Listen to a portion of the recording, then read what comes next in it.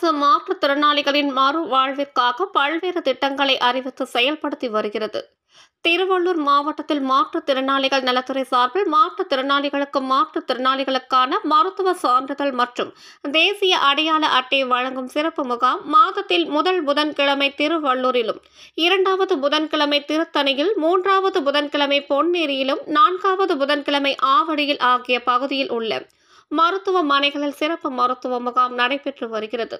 இந்த சிறப்பு மருத்துவ முகாமில் மருத்துவ சான்று வழங்குதல் மற்றும் மாற்றுத்திறனாளிகளுக்கான தேசிய அடையாள அட்டை வழங்குதல் ஆதார் அட்டை பதிவு மற்றும் தமிழக முதலமைச்சரின் விரிவான மருத்துவ காப்பீடு திட்டத்தில் பதிவு செய்யப்பட்டு வருகின்றனர்.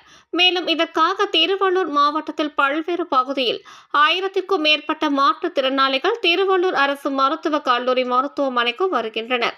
ஆனால் மருத்துவ மருத்துவமனையில் போதிய டாக்டர்களும் மாற்றுத்திறனாளிகளுக்கான அடிப்படை வசதிகளான சக்கரம் நாற்காலி இருக்கை வசதி போதிய அளவில் வழங்காததால் மாற்றுத்திறனாளிகள் தரையில் அமர்ந்து காத்திருக்கும் அவல நிலை ஏற்பட்டது.